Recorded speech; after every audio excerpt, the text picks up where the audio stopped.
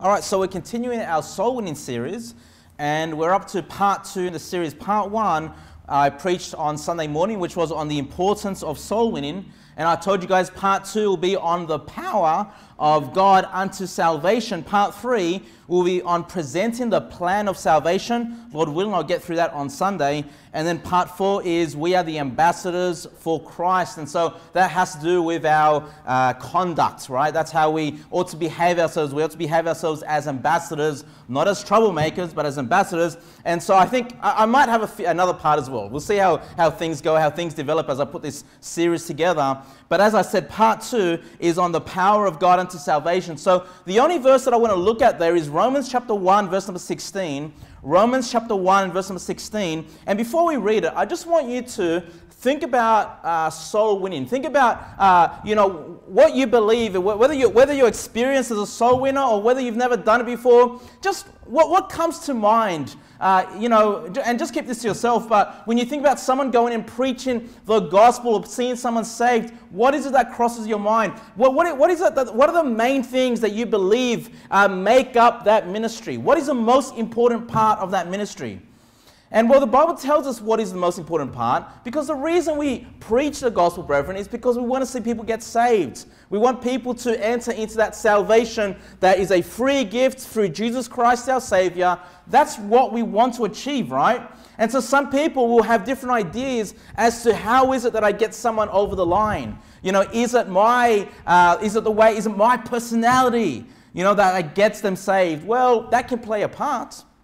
Is it, is it how I introduce myself? Is that, you know, well, you know, that plays a part. You know, every aspect of our soul winning uh, work, you know, whether it's introducing yourself, how you introduce yourself, how you speak, all of these things play a part in helping that person get saved. But there is a part that is, that is essential to their salvation. Because here's the thing you can mess up all these other things, okay? But there is one part that is essential that if you don't cover this topic well enough, they're not going to get saved. Or they're going to make a false profession of faith. Okay? They're going to pray some prayer. They're going to do the one, two, three, repeat after me prayer because they have not understood the most important part. And that's there in verse number 16. Look at it again. Romans chapter 1, verse number 16. It says, For I am not ashamed of what? Of the gospel of Christ. Then it says this, For it is the power of God unto salvation to everyone that believeth to the Jew first and also to the Greek.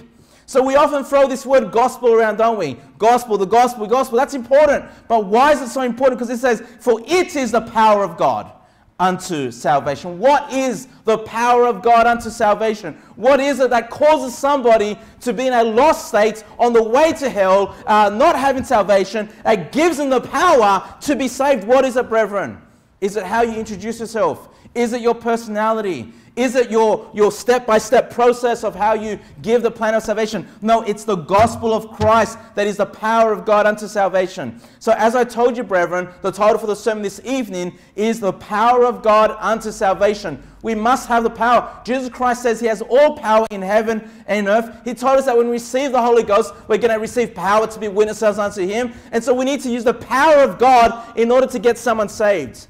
Do you think about that, brethren, when you lead someone in prayer? When someone has uh, confessed that they've believed on the gospel, do you think about, hey, I've just utilized the power of God to see this person saved? That's exactly what took place. You utilize the power of God. But specifically here, we see that the power of God is the gospel of Christ. Okay? So we must include the gospel in our presentation. You say, of course, I know that, Pastor Kevin. And I know you know that, okay? But here's the thing. If you can please turn to 1 Corinthians 15, please. 1 Corinthians 15. People ask the question, what is the gospel of Jesus Christ? I mean, is it really that complicated? And it's not complicated. In fact, even, even those that falsely call themselves Christians, even the unsaved Christians claim to believe the gospel. They claim to believe the gospel, okay? And so, because so many so called Christians, yes, even the Catholics, even the Orthodox, even all your uh, you know, Protestant churches that you know uh, believe in some type of works based gospel, will claim to believe the gospel as we know it. And so, quite often, because they claim to believe the gospel, we kind of, you know, we don't touch on it as we should. We think, well, you already understand it. And so we move on to other things. But you must understand this is the power of God. The reason this person is not saved is not because they don't know what the gospel is, it's because they don't understand the gospel. And it's your job to cause people to understand the gospel. What does it mean? What was it used for? Why, why, why this process? What is, what's the purpose behind it? Well, 1 Corinthians 15, verse 1, please. 1 Corinthians 15, verse 1. Paul says here to the Corinthian church, Moreover, brethren, I declare unto you what? The gospel which I preach unto you, which also ye have received, and wherein ye stand, by which also ye are saved, if ye keep in memory what I preached unto you, unless ye have believed in vain. So, what does the Apostle Paul say? He says, Look, I've preached unto you. I've preached something to you. In verse 1 says, Look, I declare to you the gospel which I preached unto you. You can see there that Paul is making sure that they understand what is the power of God into salvation. It's the gospel that Paul preached to the Corinthian church. Look at verse number 3. For I delivered unto you first of all that which I also received. says, Look, I've delivered to you the gospel which I also received. I was given the gospel. That's what saved me when I believed the gospel. Now I'm giving you the same message gospel. Okay? I'm not preaching some other gospel. So many people believe that, or not so many people, but that there is a, a, a group of people that believe that Paul preached some brand new gospel that nobody's ever heard before. No, Paul says, Look, I'm, I'm, I'm delivering to you the same thing that I received, the same gospel that I received. I'm preaching this to you. What does it say? He says, it keeps going, how that Christ, now this is the gospel, here it is, how that Christ died for our sins according to the scriptures, and that he was buried, and that he rose again the third day according to the scriptures. What's the gospel, brethren? The death, the burial, the resurrection of our Lord Jesus Christ that took place three days later. That is the gospel. Now you say, well, hold on. Don't the Catholics believe that? Don't they believe that Jesus Christ died on the cross and three days later resurrected from the dead? I mean, those of you that are former Catholics, doesn't the Catholic Church teach that? That's what took place. So have they got the, uh, but are they, are they saved? Okay? So, wait, wait a second, right? You know, all these other so called Christians claim to believe this truth. I mean, you cannot claim Christianity without believing this truth, without knowing this truth. But let me tell you, there are so many people that overlook what Jesus Christ has done. They don't understand what Jesus Christ has, has done. And because they do not understand what took place, therefore they cannot believe the gospel and they cannot be saved until they understand the gospel. And if the gospel is the power of God unto salvation, this means this must be a very important part of our gospel presentation. Now, part three of this series is on how to uh, uh, give the gospel, like the plan of salvation, how to give it. But I just wanted to give this gospel piece alone, the death, burial, resurrection, its own sermon, because this is the most important part. Is it important to teach people that they're sinners? Yes.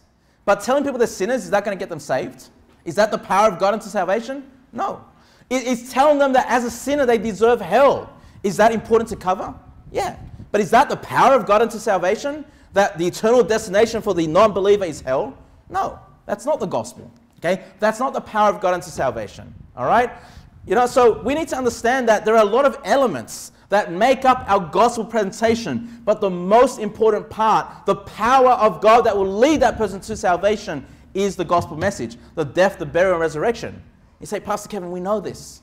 Yes, okay? You know this. But here's what you need to be able to do when you preach the gospel you have to explain it to a non believer. You have to explain not just what took place, which people already know. You know, praise God that we, you know, as Australians, we celebrate Easter, and people, you know, once a year are being reminded of what Jesus Christ has done, besides the Easter bunny and the, and the chocolates, but they're kind of reminded about what Jesus Christ has done on a yearly basis so they understand that fact but they don't understand what that means in terms of salvation. So that's where you have to come in and explain that to other people. That's the power of God unto salvation. Can you please turn, you're in 1 Corinthians, please turn to 1 Corinthians chapter 1. 1 Corinthians chapter 1, verse number 17. Say, why are you preaching this, Pastor Kevin? This seems very basic. It does seem very basic. But here's the thing, I've gone so in, look, and I've made this mistake. I'm not trying to criticize anybody. You know, if, if you're just, if you're getting out there and you're preaching the gospel, I'm thankful for you. I praise God for you, okay? But one thing that I've observed, not just here, but also at New Life Baptist Church, is that from time to time, quite often people will not, not completely overlook the gospel, but just quickly, you know, they might spend, you know, literally less than a minute on the gospel and move on when this is the power of God into salvation, this ought to be the part that you explain the most.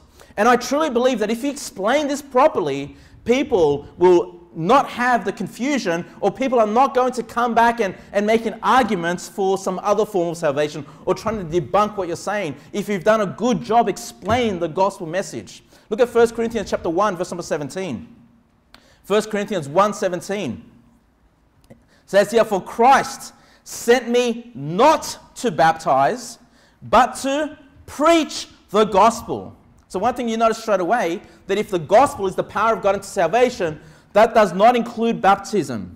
All right? Baptism is a work, baptism is a good thing. We're a Baptist church. Okay? It shows us that you have made a public, uh, uh, uh, you're making a public confession that you've believed on the Lord Jesus Christ, that you've believed the gospel. That's why we do it. But baptism is not the gospel. You notice that? Christ sent me not to baptize, but to preach the gospel. Now, let's keep going. Because what did we see what the gospel was? The death, burial, and resurrection of Christ. Look at this. Not with wisdom of words, lest the cross of Christ should be made of none effect. So notice, the power of God into salvation, the gospel is referred to here as the cross of Christ. Okay? So we preach the cross of Christ, not with wisdom of words. I don't care how wise you think you are, brethren, if you don't include the cross, if you don't include the gospel, that person's not going to get saved. If you don't explain the gospel, if they don't understand the gospel, they're not going to be saved. They might pray with you, but I'm telling you, they're going to be a false convert because they've not understood what Christ did for them on the cross. Okay, let's keep going. It says, uh, verse number 18, For the preaching of the cross. What did it say in verse, number in verse number 17? To preach the gospel. What does it say in verse number 18? The preaching of the cross. Preaching the cross is the gospel. Okay? Look at this. Is to them that perish foolishness. Look at this. But unto us which are saved, it is the what? The power of God. Once again, what is the power of God unto salvation? The preaching of the cross, the death, the burial, the resurrection of Jesus Christ. That's the gospel.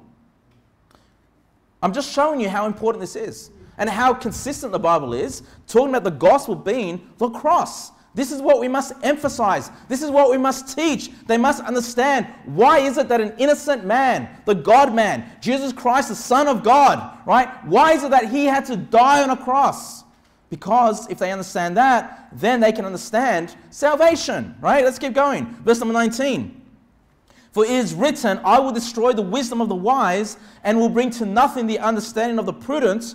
Where is the wise? Where is the scribe? Where is the disputer of this world? Have not God made foolish the wisdom of this world?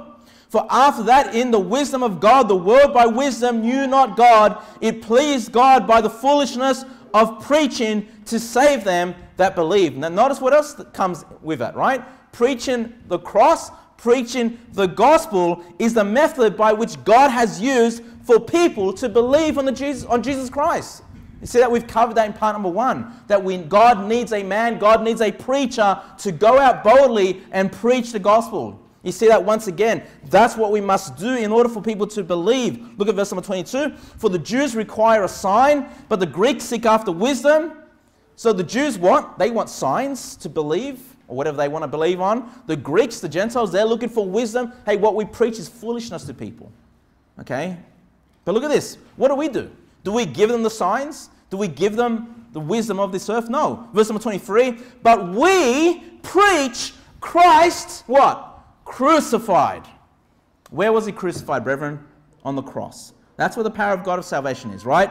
We preach Christ crucified. Unto the Jews a stumbling block, and unto the Greeks foolishness, but unto them which are called both Jews and Greeks, look at this Christ, the power of God and the wisdom of God. So, what is the power of God once again? Christ. Christ crucified. I have to just really nail this home for you.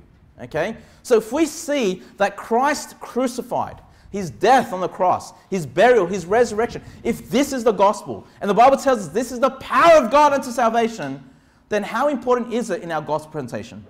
It's vital. It's vital.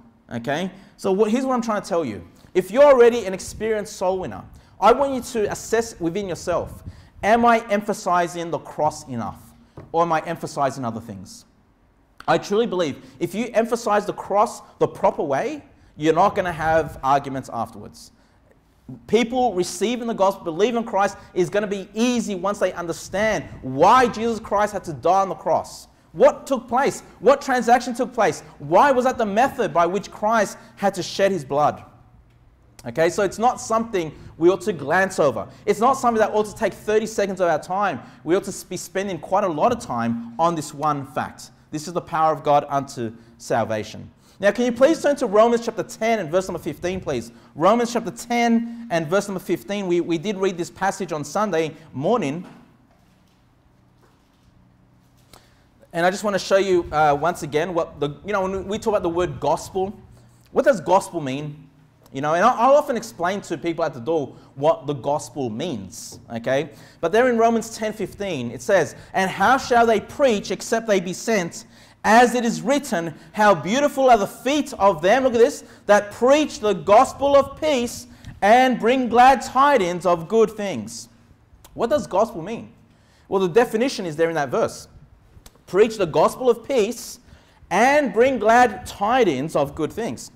So, gospel means glad tidings or good news. You know, that portion of scripture comes from Isaiah 52, verse 7, which says, How beautiful upon the mountains are the feet of him that bringeth good tidings, that publisheth peace. So, in Isaiah 52, it's good tidings. So, gospel means good news. And so, brethren, when we start ex- explaining to people that they are sinners, and as a sinner, they deserve, you know, to die and not just die, but ultimately end up in the lake of fire for all eternity, to be tormented day and night forever and ever. Okay? That's not what you need to spend a lot of your time on. People are very quick to admit that they're a sinner. They're very quick to admit they've done wrong things. All right? And, and I know there are some presentations out there, uh, Way of the Master.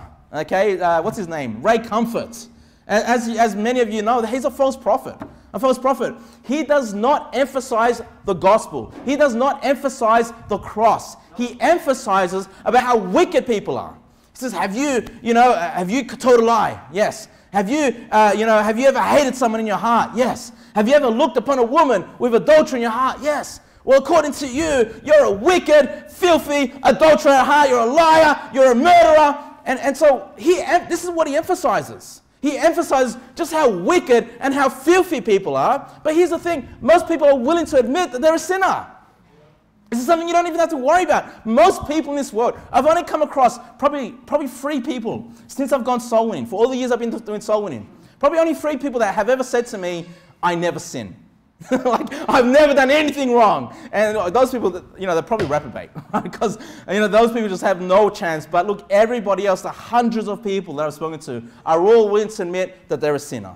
And, the, and the, the problem with emphasizing just how much of a sinner someone is, is because you've emphasized that, they're going to be left thinking, okay, I'm, right, I'm not right with God because I'm such a filthy person. Therefore, I must be doing, I must, I have to stop doing those bad things and I have to start doing good things in order to be saved. And that's why when it comes to a works-based gospel, be a good person, do good things, it's so important for, for a false gospel to emphasize how much of a sinner someone is because that's what you're going to leave them with. They're going to think, man, I've got to clean up my life. I've got to walk in holiness. I've got to live perfectly after God's sight in order to be received by Christ. But that's not the gospel. The gospel is the death, burial, and resurrection of Jesus Christ. If you emphasize the right thing, they're not going to be left thinking that I've got to work my way to heaven. They're going to be left thinking that my way to heaven is through the death and burial and resurrection of Jesus Christ. That's what they're going to be left with if you emphasize the right things. Okay, so this is why it's so important. And I often tell them, hey, you're a sinner. The Bible says that there's a lake of fire. I've given you the bad news.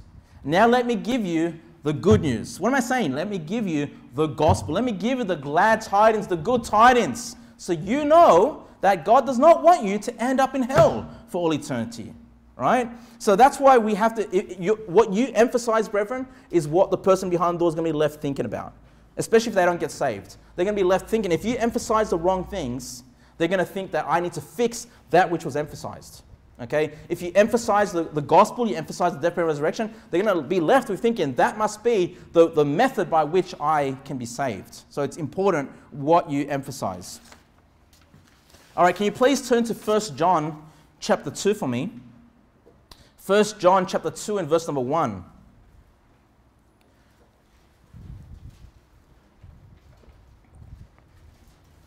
So I'll, I'll often say in my gospel presentation, so after I've told them that they're destined to hellfire for sin, being a sinner against the Lord, I'll often say to them, So, do you believe that God wants you to go to hell? And, you know, the vast majority of times people say, Well, no, God doesn't want me to go to hell. And I say, Exactly. Then I'll ask another question. So, what did God do so you don't have to go to hell? What did God do for you so you don't have to go to hell? I would say probably half the time people will give the right answer. You know, they might say, I don't know, things like that. But half the time they'll say, well, didn't he send Jesus to die for us? Something like that. Okay? Or didn't he die for us? Something about death, something about the cross. Generally speaking, people subconsciously know that was something important that God had to do to help us be saved or to cause us to be saved, right? And so, yes, they're absolutely correct. And when they give me that answer, I'm like, yeah, that's it. You know, I, I emphasize what is important. You get it that the Father had to send the Son to die in your place. Now look at 1 John chapter 2, verse number 1. 1 John chapter 2, verse number 1.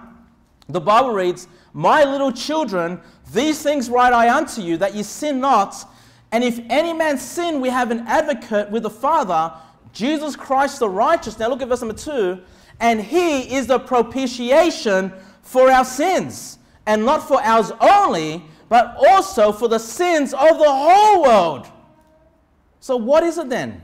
We know that Jesus Christ died on the, you know that Jesus Christ died on the cross, but what is it that we have to emphasize? Why did he have to do why did he have to die through that process? Why is it that his blood had to be shed for us? Well, you can see then, verse number two, he is the propitiation for our sins, and not ours only, not just for the believers, but also for the sins of the whole world. So, this is what you have to teach people that when Jesus Christ died, he died not just for your sins and my sins, he died for the sins of the whole world. That's important. And what's that big word there? Propitiation. Does anybody know? Propitiation? A substitute? Yeah, well, kind of. Propitiation means this to propitiate, okay, which means to appease or to satisfy. To appease or to satisfy. Listen, how was God the Father satisfied? Okay, when it comes to a, a sinner, in order for us to go to heaven, what payment was necessary that appeased God, that satisfied God, where God said, Yes, this is what is needed, this satisfies me, this appeased the situation, this is justice? It's Jesus Christ's death on the cross. Okay? It's his burial and ultimately his resurrection. This is the process that appeased God. This is the process that satisfied God. Now, listen, when I'm preaching to somebody at the door to someone that is lost, I'm not going to use the word propitiation. Because there are even church people that don't even know what that word means. Okay? And so you got, you got to be mindful that when you're preaching the gospel, you're not using churchy words or biblical words that, you know, we don't use in our modern day vernacular. But what did we learn in, on the sermon on Sunday morning? That, hey, the, the Ethiopian eunuch was reading the, the, scriptures, was he not? But he said, look, how can I understand unless some, get, some man shall guide me? Okay? And so listen, we don't use some big words like this. I try to avoid churchy words. I avoid words like righteousness and blood atonement and uh, just justification. I, you know, I explain all those things. Okay? But I avoid those words because I know the guy at the door does not understand those things. In fact, it took me many years to understand a lot of the big biblical words. You know, as I was going to church and, and, learning the Bible, it took me time to learn what those things were. So, you know, don't use, don't, don't try to be this wise man with these big words that the person behind your door is not going to understand. Just take what the Bible says and explain it to them. You guide them, you teach them what the Bible says. But you can see here that the reason Christ had to die on a cross was that was the method that appeased the Father. That's what satisfied the Father. Okay? Meaning there's no other payment necessary besides the gospel message. Okay? No other payment necessary in order for us to be justified before God the Father than what Christ did his death, his burial, his resurrection. Okay? That's what it means to appease, to satisfy. Okay, he's satisfied. There's, there's no more payment. There's no other mm, uh, situation necessary than for somebody to be saved except for what Christ has done for us. So, yes, he's our substitute. Okay, that's what it means that he substituted our place, the payment was made. No other payment is necessary. Can you please turn to Ephesians chapter 1, please? Ephesians chapter 1, verse number 7. So, the Catholic knows that Jesus died on the cross. They know he was buried and rose again from the dead. But do they know that that was all that was necessary to satisfy God the Father? Do they know that? I'll tell you why they don't know that. Because they think that's part of the plan. Okay, so Jesus has opened the way for me to be saved and go to heaven because of his sacrifice. But that's not enough to appease the Father. That's not enough to satisfy the Father. That's not enough to uh, propitiate for our sins. We also have to go to the priest and confess our sins. We also have to get baptized. We also have to have the Holy Communion. We also have to have the, what's the other process when they look like they get married when they're little kids? What's it called? Christina? Is it communion? Uh, I thought it was something, confirmation, that's what I'm thinking, right? Uh, they think, no, all these other things are necessary to satisfy the Father. And even then, they don't know if they're going to heaven. Okay, so do they know that Jesus died on the cross and rose again from the dead? Yeah, they know that. But do they know that's what that was that was everything necessary to appease the Father, to satisfy the Father, to pay for all our sins? They don't know that. That's what you have to explain. Okay, and that Jesus Christ died for the entire world. Uh, uh John 1.29 says, the next day John see, seeth Jesus coming unto him and saith, Behold the Lamb of God, look at this, which taketh away the sin of the world. So when Christ came as a lamb to be slain, to be sacrificed, the purpose behind that was to take away the sin of the world. So, what else do you have to explain to people? That when Christ died on the cross, he took away our sins. All my sins, all your sins was taken away from us and put onto Jesus Christ. He became sin for us. They need to understand that as well. Okay? That people don't understand that. So, in other words, the wrong things I've done, the wrong things you've done, was uh, put on Christ as though he had done those wrong things. All right? And God's anger and God's wrath is upon Jesus for those sins that we've committed. Someone else has taken the punishment. Okay? Someone has taken those sins from us. Someone else has paid for those sins. So we don't have to pay for that. Do they understand all that? They don't understand it. Okay? You're in Ephesians 1 7. Ephesians 1 7, look at this. In whom we have redemption. Now, again, there's another Bible word, there's another churchy word. I don't use the word redemption with someone at the door. They don't understand those words. But we know what the word redemption means, right? It means to redeem, right? What does it mean to redeem? It means to buy or clear of payment. To buy or clear of payment. Payment has been cleared. It's been purchased. You've redeemed something. Let's read it again, verse number seven. In whom we have redemption through what? Through his blood. The forgiveness of sins according to the riches of his grace. Brethren, where is it that the blood was shed? On the cross. Okay, now was his blood shed on the way to the cross? Absolutely. He was whipped, he was beaten, right? I mean, there was blood of Christ all the way on the streets, all the way to the crucifixion. But where the Bible emphasizes the blood is, of course, the cross. Okay? The shedding of his blood on the cross. That is what redeems us. What is it that purchases, purchases us? What is it that clears of payments? The blood of Jesus Christ. So, what's that part of? That's part of the gospel message. His death on the cross. Amen? Now, also, can you please, I know we're turning to a lot of passages, but turn to 1 Peter chapter 1, verse 18. All these passages are important, okay? 1 Peter chapter 1, verse 18. So what else do we have to explain to someone at the door? That when Christ died, he shed his blood. It's his blood that was the purchase price for us. That's what purchased us. That's what cleared us of this sin debt. It's the blood. Okay? 1 Peter chapter 1, verse 18. 1 Peter chapter 1, verse 18. For as much as ye know that ye were not redeemed, there's that word redeemed again. You were not redeemed with corruptible things as silver and gold. Hey, isn't that what the Catholics do all the time? Don't they always go and give money at the back of their church to release their loved ones from purgatory a little bit earlier?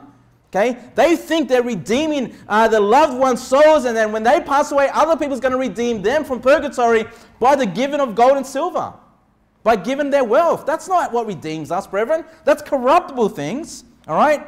Uh, from your vain conversation received by tradition from your fathers. But, hey, what is it that redeems us? But with the precious blood of Christ as a lamb without blemish and without spot. So there, once again, you see that the blood is what the Bible emphasizes as the necessary payment or the redemption for us to be saved, right? The precious blood of Christ. But not only the blood, it says, as a lamb without blemish and without spots. What else does that teach us? That Christ, when he died on the cross, he did not die for his own sins. He was a lamb without blemish, without spot, meaning that Christ had no sin. So when we teach the gospel, we have to explain to them that when Christ, you know, came to this earth some 2,000 years ago, that he never sinned. He was a perfect lamb. You know, he, you know, unlike us that have a sin nature, unlike us who have rebelled against God by our sins, unlike us that are deserving to face the wrath of God, Jesus Christ never sinned. He was a lamb without blemish. He was a perfect sacrifice. Okay? And as the perfect sacrifice, that means he was eligible to take on our sins. He did not die for, for himself, he died for those that would believe on him. He died for entire, in fact, he died for the entire world. Okay? That's something else you need to, they need to understand. Some people, yeah, they understand that Jesus died on the cross, but if you don't tell them that Jesus had no sin, it doesn't process exactly why he had to do that. Okay, like, uh, for example, um, Muslims, or I think uh, even, I can't remember, it's another religion right now, they believe that it's impossible for one man to die for the sins of the whole world. Okay? Because they think Jesus as just another man. Yes, a great prophet, but he's just another man. Yes, you know, if you know, we should, in fact, they'll teach that we have to pay for our own sins. Okay? But what makes Jesus special is, is that he is God, and with God there is no sin. God cannot sin. God is perfect. He walked this earth. Christ never sinned. That made him that perfect candidate candidate, the perfect substitute to take the sins of the whole world upon himself. So when we preach the gospel, teach that Christ was perfect without sin. Okay? Then they understand, okay, so he died. Oh, he died for me. Understand? If you explain these, it's going to dawn on them that's why Christ had to die. He had to die for me. He had to die for you. He had to die for this whole world. That's why he died on the cross, right? Uh, I'll just read a quick passage to you in 1 Timothy chapter 2. Can you please turn to Galatians chapter 3? You go to Galatians chapter 3, and I'm going to read to you from 1 Timothy chapter 2, verse 5. You go to Galatians chapter 3. I'll read to you from 1 Timothy chapter 2, verse 5. The Bible reads, For there is one God and one mediator between God and men, the man, Christ Jesus. Then it says this in verse number 6 who gave himself a ransom for all to be testified in due time. So Christ was the ransom for all. What's a ransom? Quite often you think about maybe sometimes you hear this stuff on the news where maybe somebody's been kidnapped and there might be a letter of ransom. It says, hey, we'll free your loved one that's been kidnapped as long as you fulfill this ransom, right? As long as you, you know, deposit, I don't know, a million dollars into this bank account then we can free this person that we've kidnapped. Well, Christ became the ransom for all. What does the word ransom mean? It means the price paid to free a prisoner, slave, or kidnapped person. Let me read that again. The price paid to free a prisoner. Praise God. What does that mean? That means by the ransom of Jesus Christ, by his death, burial, resurrection, we are made free. That's what it means. That was a ransom paid. We were under the bondage of sin. We're on our way to hell, but the ransom was paid, which was Christ our Savior. His blood was shed. That's what paid me in order to be free. So that's what people have to understand that, hey, you're in bondage now. You don't know that you're on your way to heaven. You have doubts because you don't know what you need to do to be saved. You're on your way to hell because you're a sinner. Hey, I can tell you how you can be free. And the way you're free is, once again, what Christ has done for you. There's freedom in Jesus Christ. Okay? He sets us free, He makes us free. There is liberty in Jesus Christ. This is what else you need to explain to them at the door that they're made free they're no longer under bondage by the sacrifice of Jesus Christ. Do you see how the death, the burial, resurrection is in of itself is eh, most people know that they know that fact. Most people know that fact, but how many people actually understand what took place? Very little, very few. That's why there's very few that are saved, and this is your job to explain. Look, praise God, we live in a nation where people at least understand some concept of Jesus Christ. You know, we don't have to start from scratch. We can take what they already know, what they've heard, you know, the Easter message, maybe even the Christmas message, and we can build upon those things and, and fix up their misunderstandings. We don't need to start from scratch. Praise God. Okay? But you can see how people understand, I mean, or at least know that what Christ has done, but not understand what took place. And how does that, how does the sacrifice of Christ make me free? How does the sacrifice of Christ give me uh, the open doors to enter into heaven? This is what you have to explain. Look at Galatians 3:13. Galatians 3:13. As I told you, it's so important that you teach people that Christ was perfect without sin. He was a lamb without blemish. Because in verse number 13 there it says, Christ hath redeemed us. There's that word again, redeemed. Okay? Redemption. Christ hath redeemed us from what? From the curse of the law. Look at this. Being made a curse for us. For it is written, Cursed is everyone that hangeth on a what? On a tree. What's the tree reference in there? The cross, once again, the crucifixion. That's how Christ became a curse for us. This, again, so what are you teaching people? That before we're saved, we're under the curse of God. We're not perfect. We've sinned. You know, we deserve to be cursed by God. But because Christ redeemed us, He was that sacrifice, the curse was taken from me and put onto Christ. Christ became the curse for me. Christ is taking the brunt of God's wrath and God's punishment upon the tree, and I get to go free. What, a, what an amazing gospel message that is. That I'm not having to be cursed by God. I don't need to be cursed by God because God has already cursed his son on my behalf. Christ became the curse for me. All right, so that's what you need to understand, teach people. No longer are you under the, the curse, the wrath, anger, and judgment of God, but it was all put on Jesus Christ. Right? 2 Corinthians 5.21, please. 2 Corinthians 5.21. 2 Corinthians 5.21.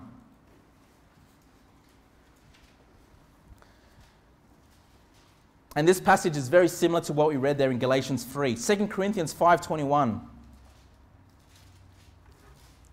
This is so important to drive home, brethren. So important that you emphasize, you know, Galatians 3 and, and 2 Corinthians 5 here, 21. It says, For he have made him, that's made Jesus, to be sin for us, who knew no sin, that we might be made the righteousness of God in him. Think about that for a moment. So Galatians 3 said he was made a curse for us. 2 Corinthians 5.21 says he was made sin for us. All right, so what I just told you is so important that the curse that we deserve, the sin of ours, was taken from us, was put onto Christ. Okay, as he hung, up, hung upon that tree, it was put on Jesus Christ.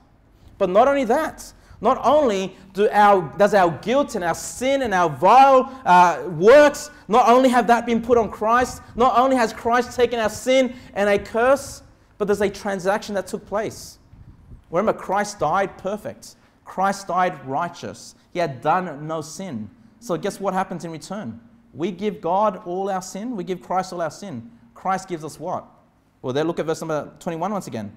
That we might be made what? The righteousness of God in Him. So, what do we get in return? We get Christ's righteousness. What an amazing thing. What an amazing thing. Right? I mean, it blows me away because I deserve God's wrath. I deserve the curse. I deserve the punishment for sin. Jesus says, You know what? You give me that, and I'll give you perfect righteousness. So when you stand before God, God sees you in the righteousness, not your own righteousness, right? Made the righteousness of God in Him, in Jesus. He sees us in the righteousness of Jesus Christ, positionally before God. You know, it's like this, this, this uh, jacket represents the righteousness of Christ. I know I'm a sinful man. I know I've done wrong things. I know I've rebelled against God. But when I stand before God the Father, what does He see? He sees His Son. He sees Jesus Christ. The same perfection, the same righteousness that was in Jesus, He sees that in you and me. Do you see how important all this stuff is? So Christ died so I can have His righteousness. So when I stand before God, I'm clean, I'm pure. No matter what I've done, no matter what sins I do tomorrow, they're already paid for on the cross. And I've got the righteousness of Christ before me. This is the power of God unto salvation, brethren. We cannot, we cannot skip over this and just think, oh yeah, you believe death, burial, resurrection, let's move on. Okay, let's say this prayer. They need to understand what took place. Okay? Now, let me give you some tips. And again, I'm not going for the whole plan today. Hopefully on Sunday, Lord willing, I'll go through the plan. But don't start by talking about faith or the free gift as of yet. I, I know that's another important thing to emphasize. Okay? Faith and the free gift, but guess what? That's not the power of God into salvation. Don't forget what the power of God into salvation is it's the gospel. Okay?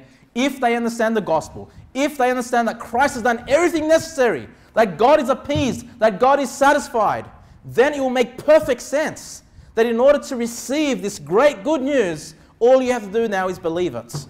Because it's all been done for. like, what else would you have to do if everything's been paid for already? Simply receive it by believing, by trusting that Christ has done that for you. You understand that the, uh, a lot of people, I, I, see this in gospel presentations, when they, when they start to talk about the, the faith, it's just believing. People start interrupting, or just believe? Yeah, the reason they're going just believe, and I surely have to do more than that, is because you haven't explained the gospel properly. And what you'll find is that you're going to have to go back and explain more about the gospel in order for them to understand, oh, that it is just believe. But if you spend enough time on the power of God into salvation, then it makes perfect sense that all I have to do is trust Christ. All I have to do is believe that He's done that for me. It makes, a lot, it makes your, it, look, it'll make your life a lot easier. If you just spend time, you might say, well, I don't know, I've already spent 15 minutes, 20 minutes. Look, just spend more time there. And I promise you, after that, you're not going to have to spend that much time. Okay? You're emphasizing the right things.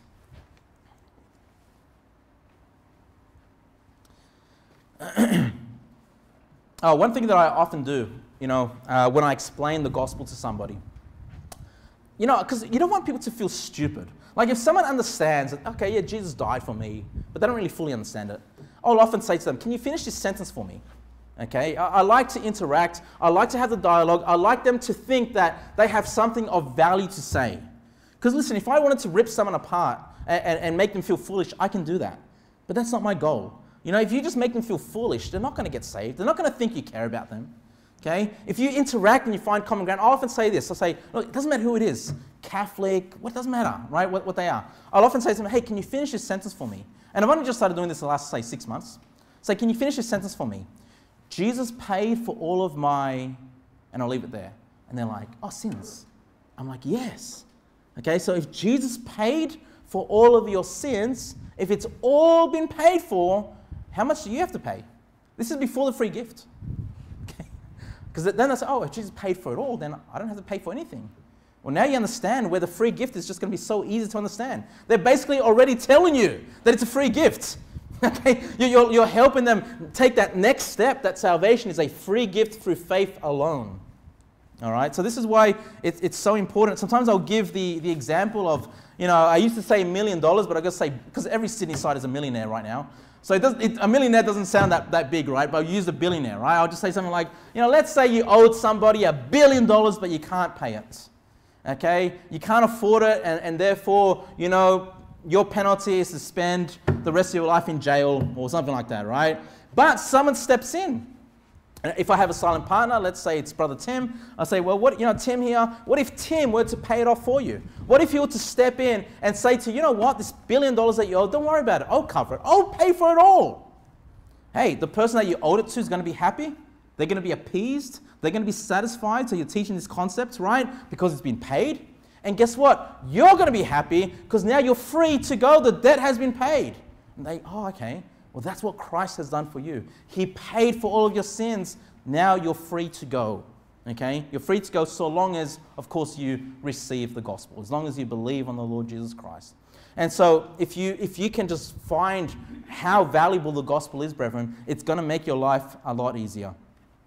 Can you please turn to, uh, turn to 1 Timothy chapter 4. 1 Timothy chapter 4. Because I want to talk about faith quickly now. Faith. We're moving on a little bit from the gospel um, message here. We're moving on to faith because we know what Christ has done for us. But hey, how is it that we receive that gospel? Well, we know that it's by faith. We receive it by faith, right? The Bible says, you know, in John 3:16, for God so loved the world that he gave his only begotten son, as you guys know, that whosoever what believeth in him should not perish, but have everlasting life. What is it that we have to do, brethren? We have to believe on Jesus Christ. We have to believe in him. And once again, it's not just because sometimes people say, Yeah, I believe in God. Yeah, I believe in Jesus. Yeah, but do you believe that everything that he did, his work, his death, burial, resurrection, was everything needed in order for you to be saved, in order for your payment of sin to be paid for? And that's what they don't really believe. Okay? Because they used to believe something else. Right? And again, we'll cover this in the next part how to talk to people about this. So, what passage did I get you to turn to? 1 Timothy chapter 4. 1 Timothy chapter 4, verse number 10. Okay, 1 Timothy chapter 4, verse number 10. And look, all these passages that I'm giving you, I'm not saying this is what you have to give people at the door. In fact, very little of these passages you give to someone at the door. These passages are for us to understand what we must emphasize when we give the gospel. Okay? But 1 Timothy chapter 4, verse number 10. It says, For therefore we both labor and suffer reproach. Look at this. Because we trust in the living God, who is the Savior of all men, especially to those that believe. So, what you notice this in this verse here, those that believe are the same people that trust in the living God. And so the Catholic, once again, the Orthodox, the whatever, brethren, they'll say to you, I, believe that Jesus died for me. They'll say that, right? I'm sure you've had that experience. I believe it already. You're telling me to believe it? I already believe it. But here's the thing. But no, but here's what believe means it means to trust. Are you trusting wholly on the sacrifice of Christ? That's all that's necessary to pay for your sins, to get you to heaven? Or like you told me at the door, you thought being a good person was important, going to church was important, getting baptized was important, so on and so forth. And I'll use what they've said at the beginning to show them that their trust was on other things or on themselves or on their church, their false religion, rather than wholly on the Lord Jesus Christ. And so that's how you define belief. Christ has done it all. Now you have to trust that Christ has done it all. That's what it means to believe on Jesus Christ. You trust that Jesus has done everything necessary in order for you to be saved. Can you, we're going to do a quick Bible study, and I think it's important. Can you please go to Romans chapter 4? Romans chapter 4.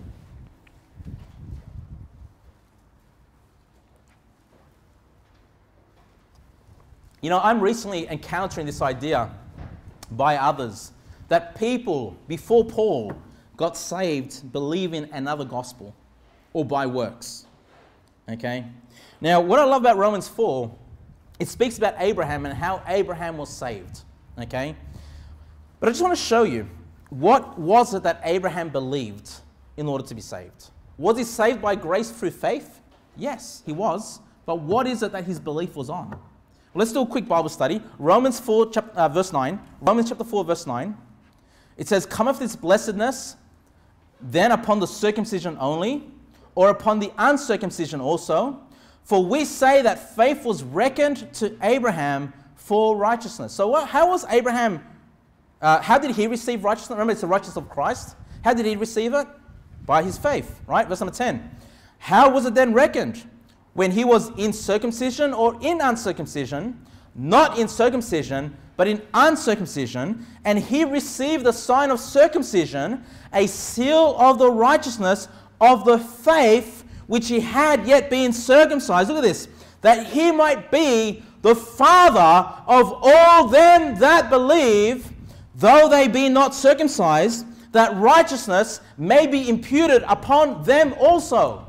Let me just summarize. Righteousness was imputed upon us. We saw that Christ gave his righteousness to us. And how did we receive that? By believing, by trusting on Jesus. If Abraham is the father of all them that believe, he's our spiritual forefather. How then did he get saved? Some other method? Some other gospel? Believe in some other thing? Surely he had to believe the same thing as us if he's the father of us in the spiritual sense, right? Let's keep going. Verse number 12. And the father of the circumcision, to them who are not of the circumcision only, but who also walk in the steps of that faith, of that faith, of our father Abraham, which he had been yet uncircumcised. So we receive the righteousness by the same faith that Abraham, the same thing he believed, the same thing he trusted, is what we trust in order to receive the imputed righteousness of Christ and be saved. Can you see that very clearly there in Romans 4? Okay. Well, let's have a look at. He's the father of us all, the Bible told us there. Can you please go back to Galatians 3? Go back to Galatians 3, verse 6. This is important because, again, I told you just recently, and I believe the Lord intends this so I can respond to this and give you guys the wisdom. I'm coming across this time and time again. People believe in that the Old Testament saints got saved some other way. Okay? Or if it was by faith, it was faith on something totally different. That they did not know the gospel, the power of God unto salvation, they did not know what that was. Okay? Well, hold on. Let's keep going. Galatians 3 6. Galatians 3 6. Even as Abraham believed God, and it was accounted to him for righteousness. Once again, how did he receive righteousness? By believing God. Well, let's keep going.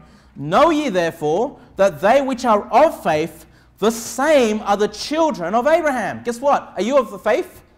Then you're the children of Abraham. I'm the child of Abraham, spiritually speaking. Look at verse number 8.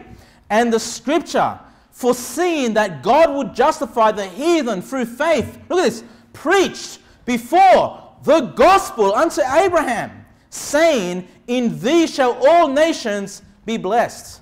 So, what did God preach to Abraham? The gospel. Do you see that? So, well, maybe some other gospel. Let's keep going. So then, they which be of faith are blessed with faithful Abraham. Okay? Now, when it said that the gospel was preached unto Abraham, Notice that it says saying. So this is what was said to Abraham when the gospel was preached unto him. It says there, saying, In thee shall all nations be blessed. Uh, see, Pastor Kevin, the gospel was different. It wasn't the death, burial, resurrection of Jesus Christ. It was that all nations of this earth will be blessed because of Abraham and because of the Jews. That's what they conclude like later, later on, right? Let's have a look at that, right? So we see that the gospel was being preached when God did tell, and God did tell Abraham that all nations will be blessed because of him and his seed. Now go to Acts chapter 3. Go to Acts chapter 3. Because we don't want to just come up with our own crazy ideas of what this gospel message is, where all nations are going to be blessed because of faithful Abraham. Okay? What, what, what is that about? Well, uh, Acts chapter 3, please. Acts chapter 3 and verse number 25. Acts chapter 3 and verse number 25. Acts chapter 3, verse 25.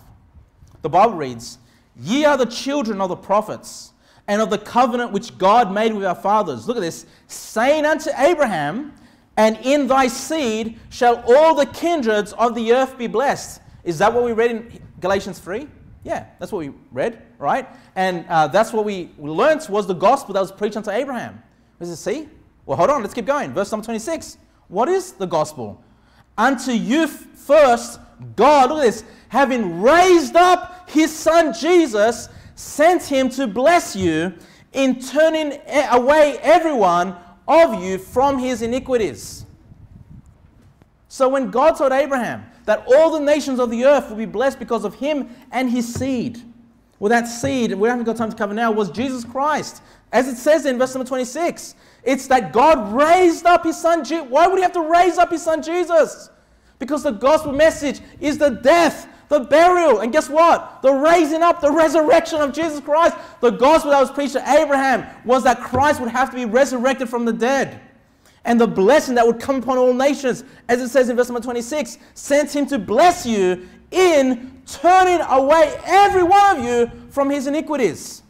Iniquities is another way of saying sins. And so the blessing of the gospel through Abraham and his seed is that our sins, our iniquities will be turned away from us and as we saw, put upon Christ. He would become the curse for us, he would become sin for us. So when God preached the gospel to Abraham, was Abraham aware that Christ would be resurrected and that our iniquities will be removed through this process? That's what he believed. That's the gospel. Even in the Old Testament, even as far as Abraham, even before the Old Covenant, he knew the gospel. He knew the power of God into salvation. This is why we can say that we are children of faithful Abraham. This is why the Bible says that we are spiritual children or that he's our spiritual father because we had the same faith. We believe the same thing. We trusted in the same thing, brethren. Please turn to Hebrews 11. We're almost done now. Hebrews 11. Hebrews 11, verse 17. Just in case that's not enough to convince you. Hebrews 11. One of the most unbelievable stories about Abraham, as you know, was when God asked him to sacrifice his son Isaac. Now, I never really understood that story as a, as a child. Now, of course, we know that God never asked him to carry through. You know, this was a time of testing for Abraham. Would he obey God? And as a child, I would read that story and I just couldn't really understand how is it that, I, you know, even, even though God's asking him to do this, even though God's asking a man sacrifice a son, that Abraham was able to get to a point where he was willing to murder his own son. I, have always struggled, I struggled with that as a child. I don't know if you struggle with that, okay?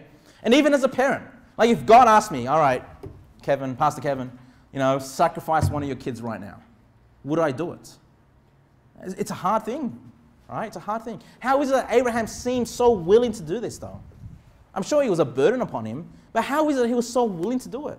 Well, Hebrews 11 explains why. Verse number 17. Hebrews 11, verse number 17, which says, By faith, Abraham, when he was tried, offered up Isaac, and he that had received the promises offered up his only begotten son of whom it was said that in Isaac shall thy seed be called. Look at verse number 19. Accounting that God was able to raise him up even from the dead, from whence also he received him as uh, sorry received him in a figure. So now you understand why Abraham was willing to sacrifice his son because he knew that if he sacrificed his son, that God will raise up Isaac from the dead. Isn't that what he just told us? That God would raise up his son? Well, why would he even think about that? Why would he even consider that if I kill my son, God's going to raise him from the dead? Because it said that at the end of verse number 19, from whence also received him in a figure. Abraham knew that him offering his only begotten son was a figure, was a picture of the gospel message, which was God the Father offering the only begotten Son as a sacrifice. And if he knew that his son Isaac would be resurrected from the dead, doesn't that mean he was preached the gospel, knowing that Christ will be resurrected from the dead, if Isaac was meant to be a figure of that? So now you understand. Abraham was willing to sacrifice his son because he knew that God would raise him from the dead because he knew that Christ would be resurrected from the dead. That's what his faith was on. That's the faith of faithful Abraham, and that's the same faith that we have in order to be saved. This is the power of God into salvation. It did not just come into effect in the New Testament. It was not just a teaching of the New Testament prophets. This was taught to Abraham all the way back, even before the Old Covenant was put in place. The power of God of salvation has always been, will always be, the death, burial, and resurrection of Jesus Christ. And it's our simple faith, trust, that that's all that's necessary, brethren, in order for us to be saved, to receive the righteousness of God that is required for us to be saved. Listen, that's what we have to teach people when we go and preach the gospel. Please, you know, I've got other things, but I'll leave it there because it's getting a bit long. But please, you know, don't overlook this part of the gospel presentation. Don't be like, oh, you already know that Christ died the, on the cross and rose again from the dead. Now let me just get to explain to you, just it's just by faith alone. They will understand that it's by faith alone. If you've done the hard work of explaining the power of God into salvation, if you've done the hard work explaining the death, burial, resurrection, not just that it took place, but what it means, why it is so important, our sin was put on Christ. We received our right, his righteousness. That's everything that was needed to appease God. His blood was the purchase price for our sins. Okay? When someone understands that, then they'll understand that salvation is simply by trusting what Christ has done for them. Okay, let's pray.